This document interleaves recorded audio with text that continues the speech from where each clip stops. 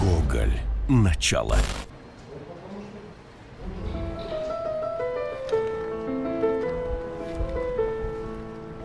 Я давеча на Гоголя сходил, который именуется «Начало». Что годным может фильм быть, я решил. Но индустрия грубо наебала. И я ругать не буду это полотно. За слово «полотно» прошу прощения. Я что угодно ждать готов от русского кино, но сериал...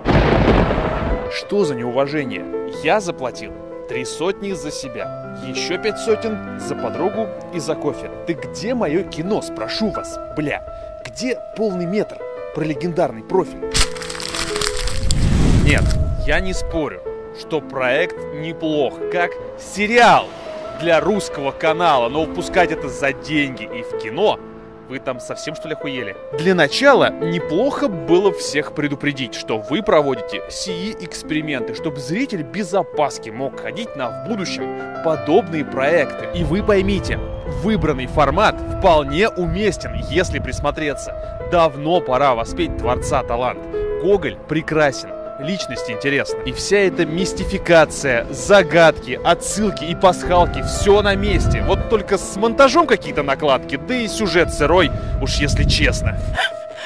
Но вся проблема, как уже сказал, одна условная и скрытая погрешность. Вы впредь пишите «Гоголь» сериал, а не начало, продолжение, промежность. Ведь так финала ждать не захотят.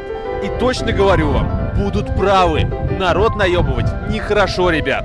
Пиздец, конечно, времена сейчас и нравы.